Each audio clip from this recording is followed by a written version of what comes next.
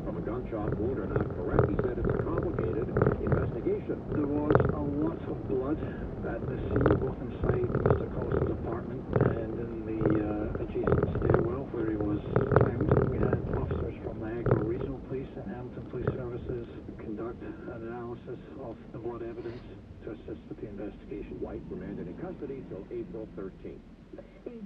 Nice fucking going, boss. Courthouse today. However, there won't be any testimony until tomorrow. That's because today was taken up by legal arguments. As the